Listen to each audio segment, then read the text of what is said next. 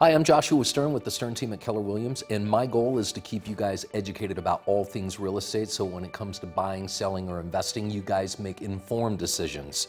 So, this one's going to take you, you know, maybe about five minutes or so to read, so grab your notepad. With listing inventory down 40% year over year and homes selling at breakneck speeds, buyers looking for homes under 450,000 along the Wasatch Front are finding out just how competitive this market is. So, there are quite a few different strategies strategies that you guys can deploy when you're in a multiple offer situation, competing in multiple offers. And I'm going to mention a few of them, and then I'm going to uh, kind of convince you guys to create a backup offer in the event that you lose that multiple offer situation gives you kind of an ace in the hole, if you will. So the first thing that you need to make sure you're going to do, and that is you're going to hire a highly experienced buyer's agent, uh, a buyer's only agent who knows how to win in this market. And that's no joke, so don't mess around there.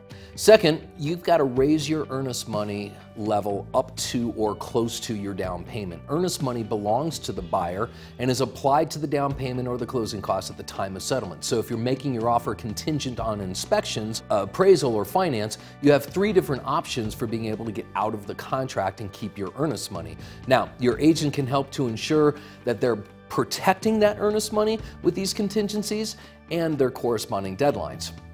Third thing, write the highest offer you can afford. You guys, this last weekend we listed a home at 425,000 and we accepted an offer at 507,000.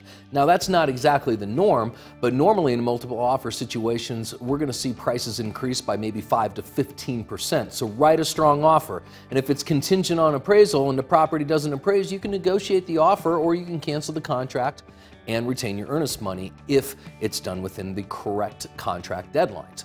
Fourth thing, and this is an easy one, a no brainer, but write a letter from you to the seller telling them a little bit about who you are and why you're head over heels in love with their home. And be genuine, you guys, be yourself. For a seller who's lived in their home for a long period of time, and they've got great friends in the neighborhood, it's just as emotional to sell as it is for you to buy. So make a connection with them using your letter and make sure the agent communicates the letter in the body of the email that they send with the offer, as well as in a uh, document that's attached to the offer itself.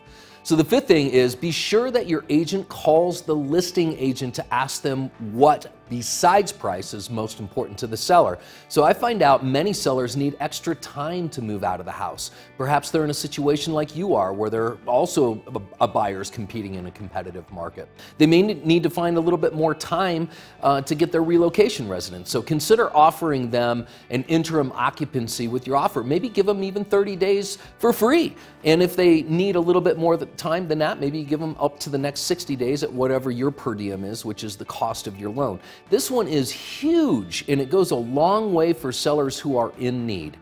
Sixth, have a short due diligence time frame as well as short appraisal and short finance deadlines. The shorter your time frames, the less the seller will worry about how long they'd be off the market in the event that the buyer, you, cancels the contract. Time is of the essence, so consider having your agent get in touch with a qualified inspector up front to see if you can get a home inspection done maybe within three days and then use a five to seven day due diligence time period for your inspection.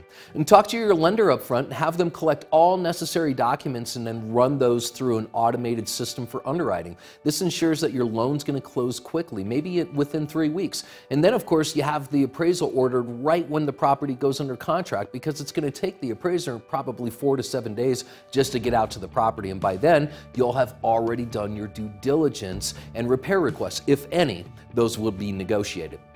The seventh thing is consider waiving or compromising contingencies. So, for example, you may agree to waive the due diligence um, or the home inspection contingency. If you're comfortable taking the property in as is condition, then consider waiving that contingency.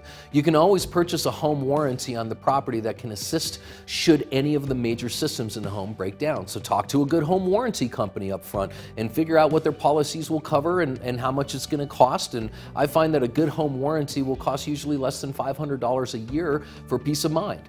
Um, you can consider waiving your appraisal contingency as well. Even if you offer above the list price and maybe you're concerned about the appraisal coming in at value and you have enough cash savings that you can cover the difference, then don't make the offer contingent upon an appraisal. And then also you can choose to avoid uh, the financing deadline. So if you're super well qualified and have a lender that you wholeheartedly trust that runs you through that underwriting system, then you may have the peace of mind to move forward without being concerned about obtaining the financing. The eighth thing is make your earnest money or part of your earnest money hard up front. Earnest money shows the seller how serious you are about purchasing your home. I've referenced already putting up as much earnest money as you can when competing, and I've also given you the caveat that you, you need a really good buyer's only agent that you can trust in an effort to protect those hard earned dollars. So, say you offer $10,000 in earnest money, then maybe consider taking 2,500 of that, making it hard up front, and then make another $2,500 hard after you complete your uh, due diligence or the inspection period.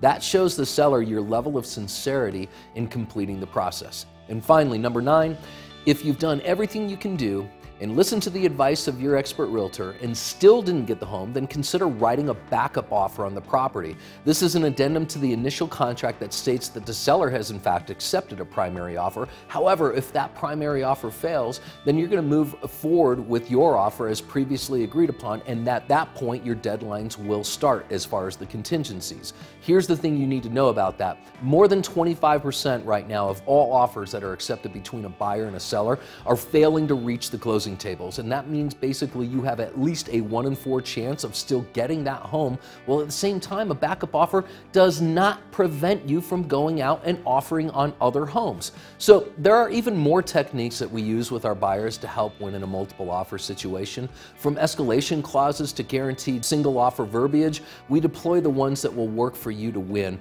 We also offer a love it or leave it buyer protection program with the Stern team, which guarantees that you're going to love your home no matter what or will sell it for free. So please give us a call if you feel like you need an expert to help you navigate this incredibly complicated market.